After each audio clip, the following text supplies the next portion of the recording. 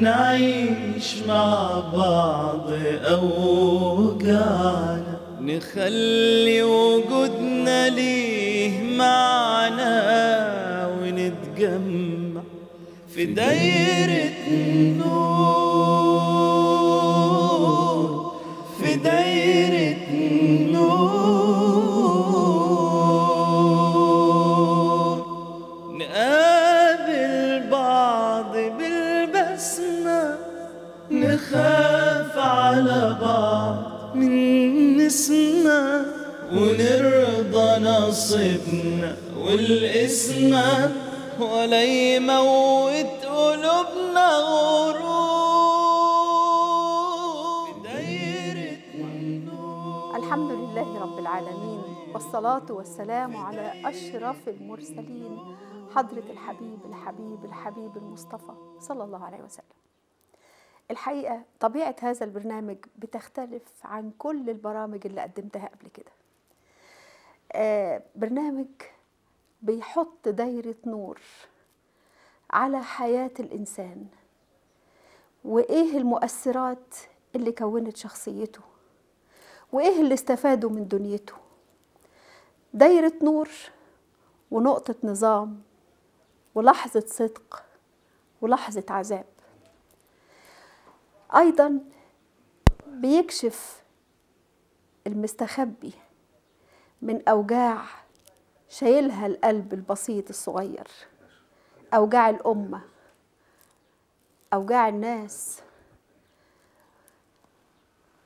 فبحاول وهحاول في كل كلمة إن شاء الله هكون صادقة معاكم. وهحكي لكم بمنتهى الصدق مين اللي أثر ومين اللي علم ومين اللي أكرم ومين اللي فهم؟ مين صاحب ومين اللي تعبني؟ وفي نفس الوقت هقول إيه اللي وجعني من هموم أمتي؟ هعيش معاكم حديث من القلب للقلب.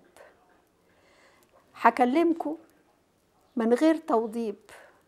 ومن غير عبارات براقة ومن غير كلمات مصطنعة ومن غير برضو ما نخلي آه، الكلمة خارجة من بق الفقيه أو من بق عالم النحو. أنا هتكلم بحب من قلب الأم لكل القلوب اللي حبتها وحبتني وتواصلنا مع أجمل معزوفة في الدنيا معزوفة قدرية. لقيتها هي خلاصة الحياة وهي أكسير الحياة.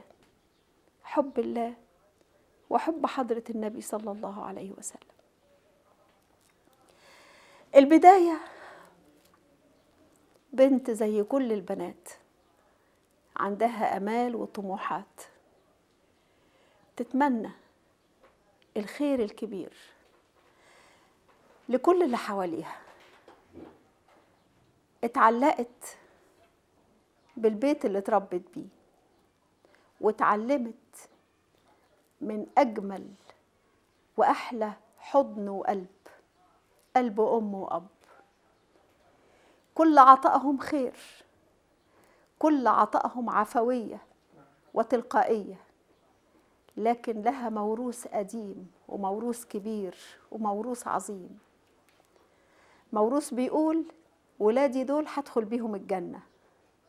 وبدم هدخل بيهم الجنة لازم أعدهم إعداد صحيح عشان يعيشوا زمانهم ويأثروا في غيرهم ويعلموا في دنيتهم ويتركوا في الدنيا علامة طيبة.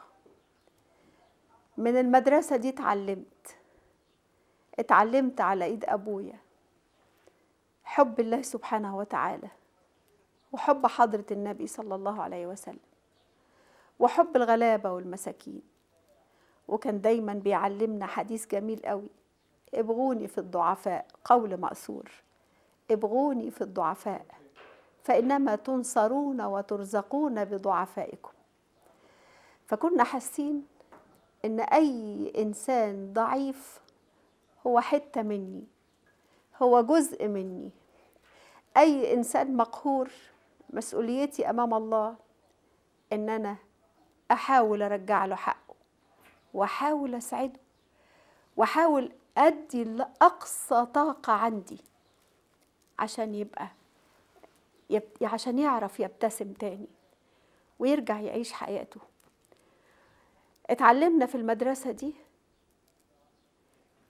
إزاي نتفوق بس دايما قمة النجاح مسطحة وليست مدببة.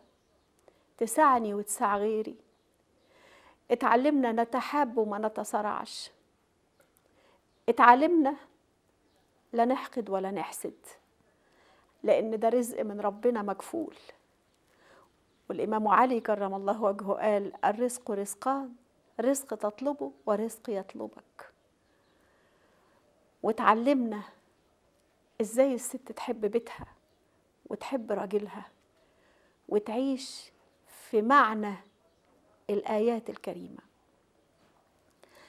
الحمد لله بفضل الله تعالى قدرت آخد دعوة أبويا وأمي وما اتحرمتش منها لأني كنت دايما في دايرة الطاعة.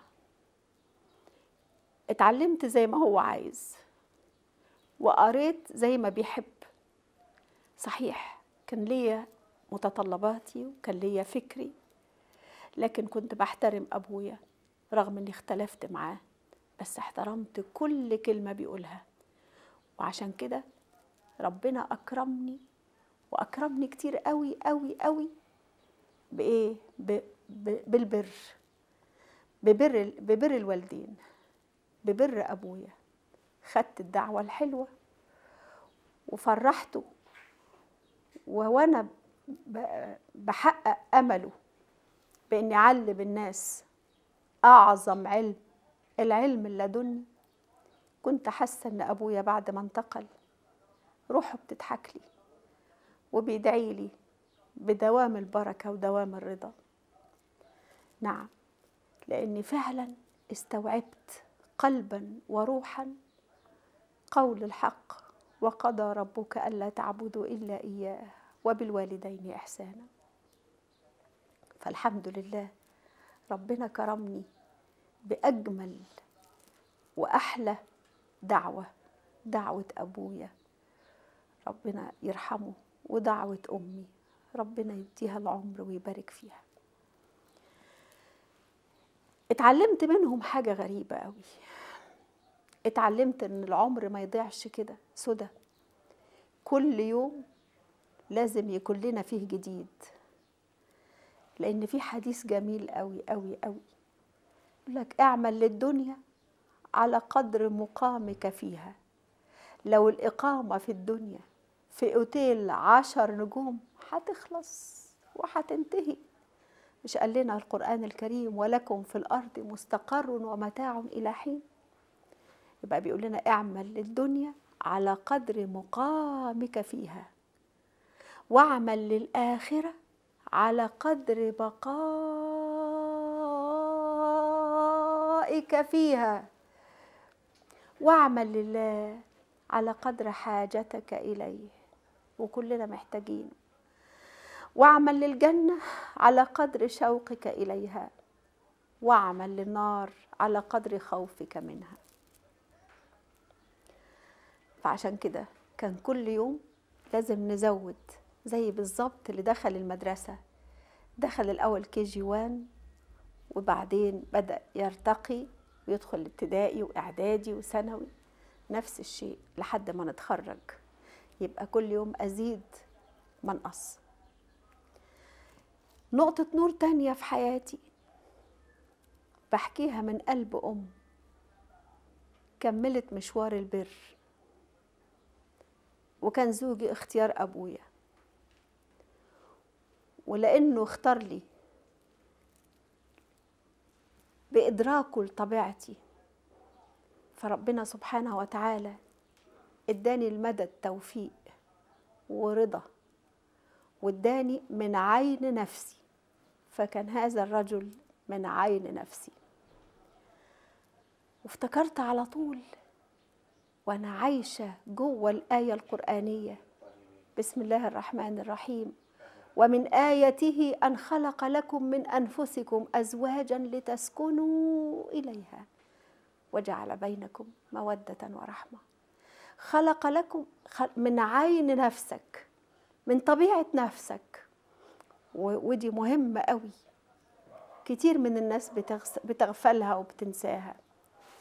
وهحكي لكم الكلام ده بعدين لما هتكلم عن ما يعني يؤلمني من أحداث موجعة بنشوفها النهارده كل شوية طلاق وخلافات وحياة عقيم وحياة خسارة ان الإنسان يعيشها وهو بيتعذب بهذه الصورة.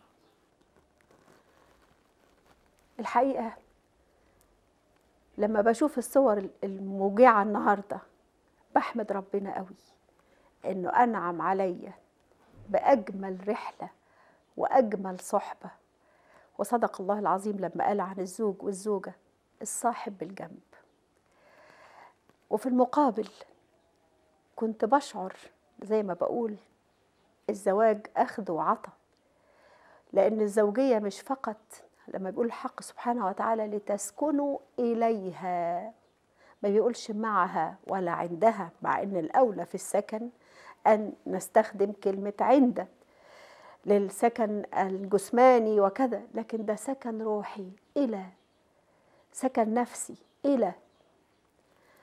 فهذا السكن الروحي والسكن النفسي بيشيع في البيت جو رائع. من المودة والرحمة. وهذ- ولو إحنا تدبرنا برضو هذا المدد الرباني المودة والرحمة هنلاقيه مفرز رباني لا يتأتى إلا إذا كانت القلوب تعيش في حميمية وحاسة بنعمة ربها وحاسة بالنعمة اللي ربنا أنعم عليها بيها. فكان زي ما بقولت كان فيه مبادلة. كنت بدرس معاه طبيعة أرض سيناء هو مهندس ضابط مهندس. فعشان ألاقي حوار مشترك بيني وبينه فرحت معهد الدراسات العربية قسم الدراسات الفلسطينية ودرسنا سوا.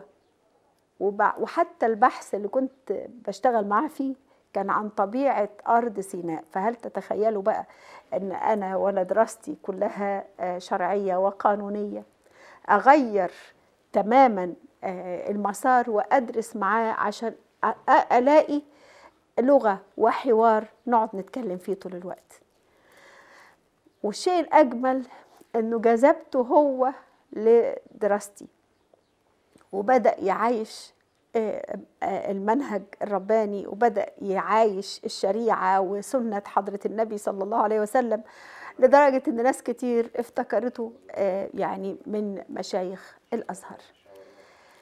الأحلى من ده كله إن أنا في كل لحظة وفي كل وقت أقول لهم يا جماعة أنا إن كان أخدت ماجستير ولا دكتوراه فالكرم اللي ربنا ادهوني ده بفضل الله ثم بفضل هذا الرجل. وعمري قدامه ما آه، شع... يعني أشعرت نفسي حتى بمجرد آه، آه، السعادة بأن أنا في الوقت ده طبعا كانوا قلة جدا المتخصصين في هذا المجال أو نقول كنت التانية أو التالتة في هذا المجال فقط. فما حسيتش فيهم إنه لا غيران زي ما بنشوف دلوقتي ولا زعلان. وكان كل لحظة بأكرم فيها كأنه هو اللي بيتكرم. ولو شفتوا الصورة تحس إنها بتتكلم.